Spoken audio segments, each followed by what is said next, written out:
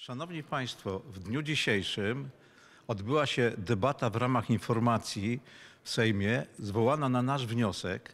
Tą debatę zwołaliśmy dlatego, że jesteśmy głęboko zaniepokojeni, jak będzie wyglądała stan opieki zdrowotnej e, w czasie jesiennej pandemii koronawirusa.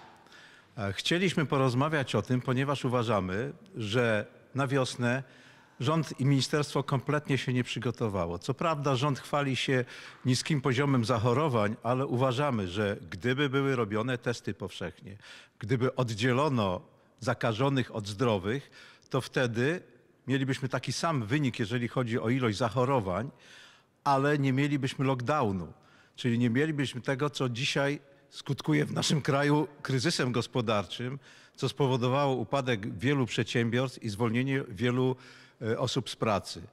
E, Jesteśmy również, zwróciliśmy uwagę na, na to, że kompletnie nieprzygotowane ministerstwo, nie zakupiono maseczek, nie zakupiono środków ochronnych i Jesteśmy również zbulwersowani cynizmem najważniejszych osób w rządzie. Przypominacie sobie Państwo, że przed wyborami e, w dniu e, 22 czerwca minister Szumowski mówił o bardzo poważnym zagrożeniu dla zdrowia i życia Polaków.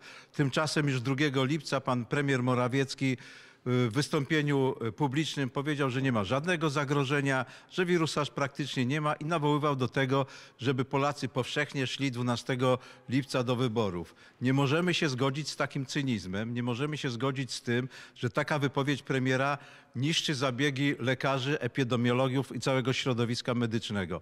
E, O reszcie będą mówili moi przy- koledzy i koleżanka. Szanowni Państwo, wszyscy eksperci Światowej Organizacji Zdrowia, również eksperci nasi, polscy, krajowi, lekarze, epidemiolodzy, wirusolodzy, jednym głosem mówią testy, testy i testy. Testy, które spowodują, że możemy znaleźć bezobjawowych nosicieli, ale eliminować ich, zanim nie zarażą innych. Tymczasem my w Polsce wykonujemy jedną z najmniejszych ilości badań testowych na mieszkańca danego kraju. W statystyce europejskiej, w Unii Europejskiej jesteśmy na 23 miejscu. Za nami są tylko Bułgaria, Węgry, Słowacja i Chorwacja. Wykonujemy około 75 tysięcy na milion mieszkańców.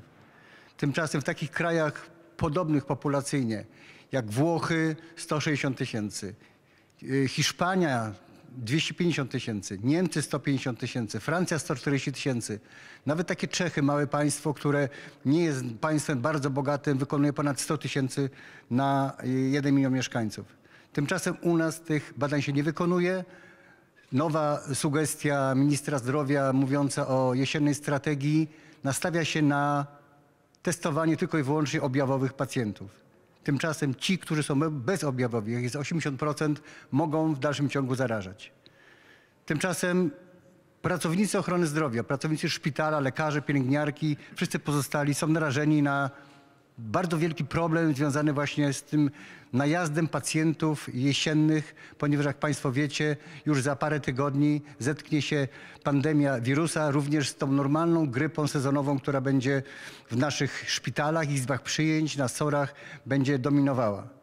I dlatego też Zabezpieczając tych pacjentów, pan minister postanowił y, testować pracowników SOR-u i, i pracowników Izby Przyjęć za pomocą testów antygenowych, które już 10 kwietnia zostały zakupione przez poprzedniego ministra zdrowia w ilości około 1 miliona sztuk za 30 milionów y, dolarów i przekazane w tej chwili właśnie do szpitalnych oddziałów ratunkowych. Są to testy, które się okazało nie mają prawie żadnej czułości. Są to testy, których czułość jest w pograniczu 15-20%. Testy, które nie spełniają żadnych norm i nie są wpisane do rejestru y, produktów leczniczych w naszym urzędzie krajowym. I żeby ratować tę sytuację i, i żeby te milion testów w jakiś sposób zagospodarować, postanowiono te testy skierować do szpitalnych oddziałów ratunkowych. Jeszcze raz powtarzam, testy, które nic nie wnoszą. Dlatego jest to kolejny element tej braku przygotowania do, do jesiennej mm, fali pandemii y, i, i grypy tej naszej sezonowej. Dlatego też uważamy, że o tych rzeczach musimy mówić, musimy mówić głośno, bo nasz kraj chwali się zieloną wyspą w walce z koronawirusem, a jest zupełnie odwrotnie.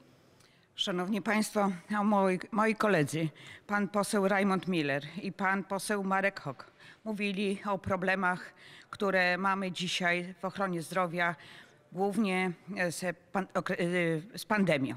Ale chcemy powiedzieć, że dwie istotne rzeczy dla każdego pacjenta są, aby ta ochrona zdrowia funkcjonowała dobrze. Nie możemy się zgodzić na to, aby tylko wizerunkiem tego okresu pandemii były afery i ustawa, która daje bezkarność urzędnikom, którzy podejmowali decyzje niezgodne z obowiązującymi przepisami w dacie podjęcia tych decyzji. Mówiliśmy o aferach maseczkowych, a także o respiratorach. To jest ten wizerunek. Nam zależy. I zależało od początku. Od lutego mówiliśmy przede wszystkim o tym, aby Polska została dobrze przygotowana na okres pandemii. Wtedy przed marcem lekceważono nasze uwagi i wnioski. Po drugie, nasze uwagi i wnioski dotyczące i poprawki, aby testować wszystkich pracowników ochrony zdrowia, zostały zignorowane, odrzucono naszą poprawkę.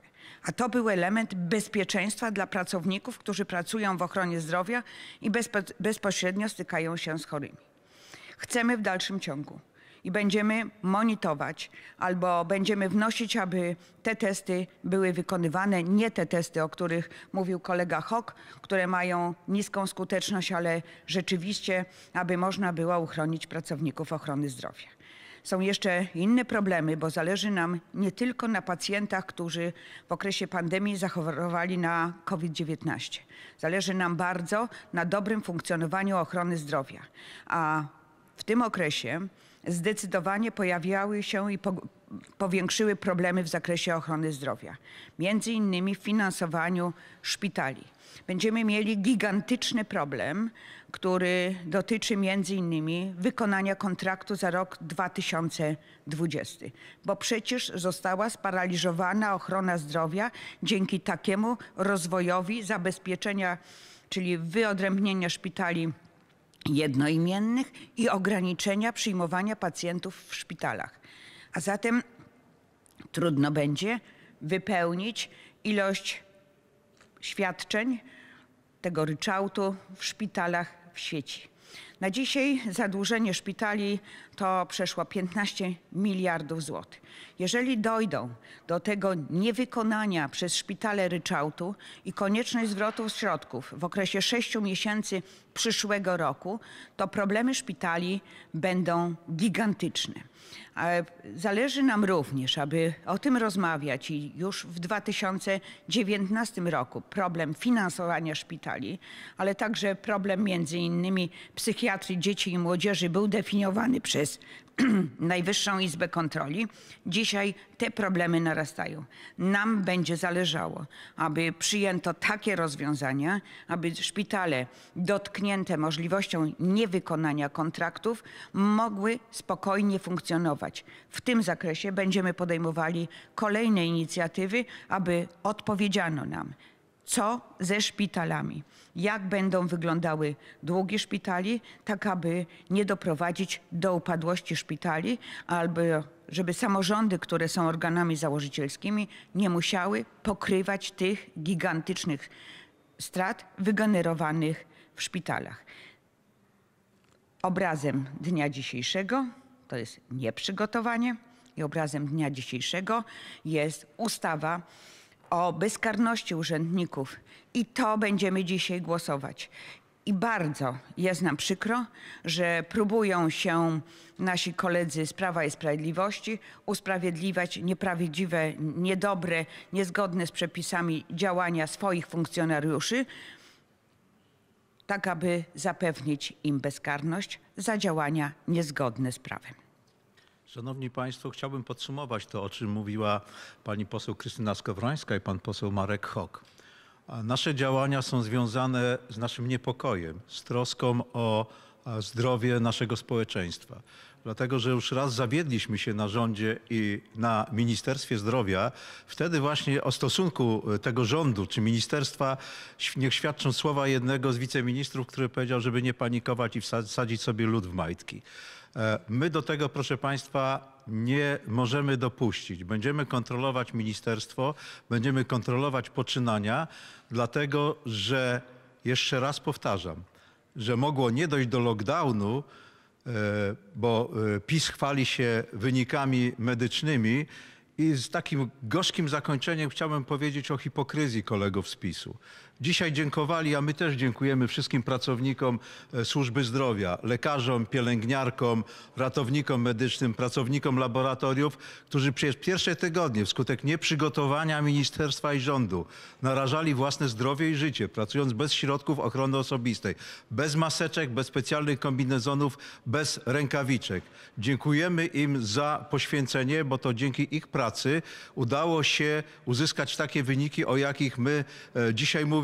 Natomiast, proszę Państwa, hipokryzją ze strony posłów PiSu jest, są dzisiaj podziękowania na sali sejmowej dla pracowników służby zdrowia. Dlaczego mówię hipokryzją? Bo to właśnie głosami posłów PiSu została odrzucona poprawka senacka, która mówiła o obligatoryjnych wykonywaniu testów dla pracowników służby zdrowia. Więc jedno z drugim się kłóci. Albo dbamy o tych pracowników, albo dbamy o ich zdrowie i dbamy o organizację służby zdrowia, albo tylko uprawiamy politykę kosztem społeczeństwa po to, żeby osiągnąć y, swoje efekty polityczne dla własnej partii. Jeśli Państwo macie pytania, to poprosimy. Jeśli nie ma pytań, dziękujemy bardzo. Dziękujemy.